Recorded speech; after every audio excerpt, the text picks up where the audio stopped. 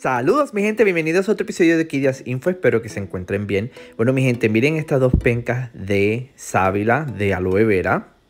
Miren qué belleza, dos hojas que encontré en el supermercado súper saludables y las vamos a utilizar para el fertilizante que vamos a hacer.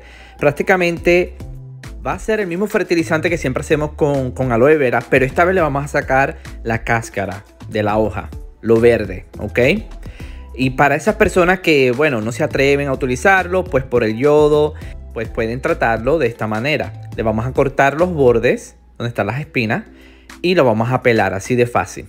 Ya saben que a mí me encanta utilizar el fertilizante a base de aloe vera, pues por los beneficios que le dan a nuestras plantas.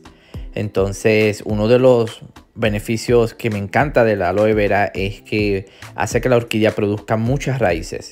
Tener un sistema de raíces súper saludables es muy importante para nuestras orquídeas, para que estén bien y produzcan flores. Entonces, esto es uno de los beneficios que le da el aloe a nuestras plantas. Y bueno, mi gente, ahora vamos a lavarlo un poco en agua fría para después eh, molerlo. Lo vamos a poner en un envase para molerlo. Y prácticamente vamos a molerlo en, yo diría que en dos tazas de agua Es una taza de aloe vera, dos tazas de agua. Así de fácil. Lo vamos a poner en este envase. Y a esto le vamos a agregar dos tazas de agua más.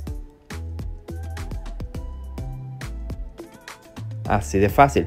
Y bueno, mi gente, vamos a fertilizar esta hermosura de orquídea que les voy a dar el nombre. Aquí está. Y miren sus flores.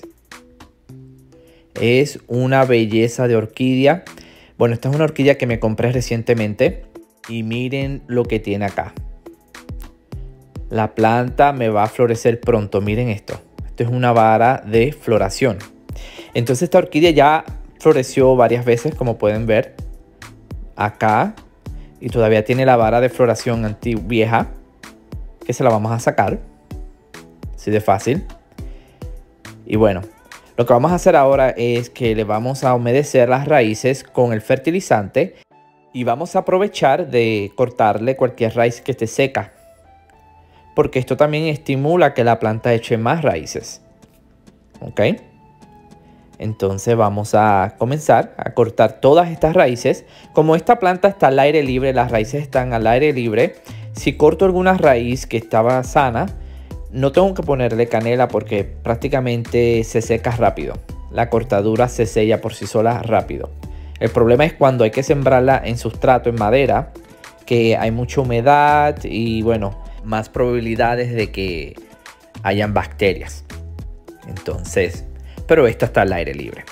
Y bueno, ya que le cortemos todas las raíces, la ponemos a un lado y esa agua no la vamos a botar. Esa agua se la vamos a echar a nuestras plantas, ¿ok?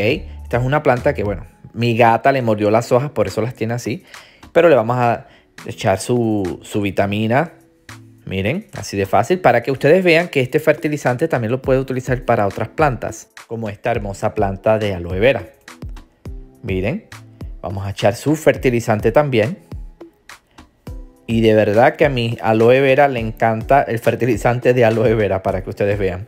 Y bueno mi gente, espero que les haya gustado este video. No se lo olvide compartir y nos vemos en el próximo.